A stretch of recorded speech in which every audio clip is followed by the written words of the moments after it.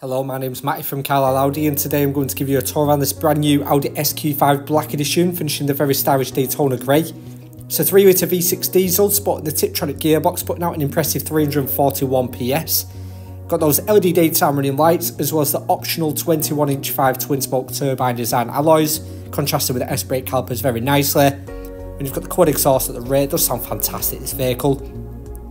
Showing the practicality now, we've got a huge amount of boot space, have kept the roof rails in for a size comparison.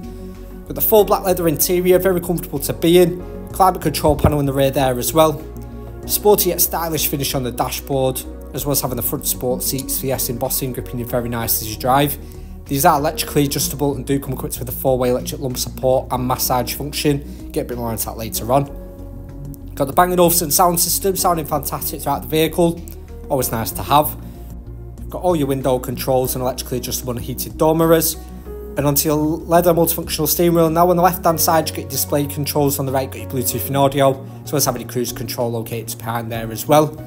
Making our way onto your Audi virtual cockpit now.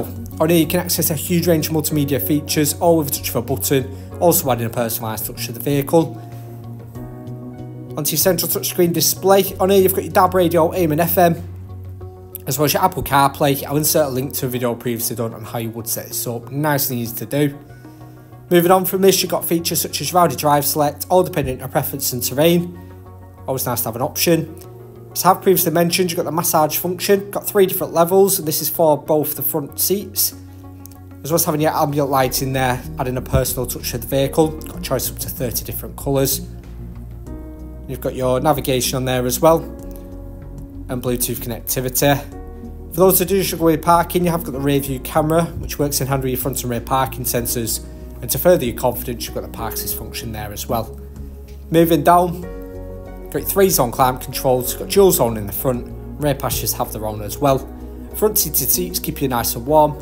Start stop, Tiptronic gearbox, that's fantastic. And your Audi phone box there, which does allow you to wirelessly charge a smartphone device whilst driving, and your leather centre armrest for storage underneath. For more information on this vehicle or to arrange a test drive, please contact one of our sales team now. Thank you.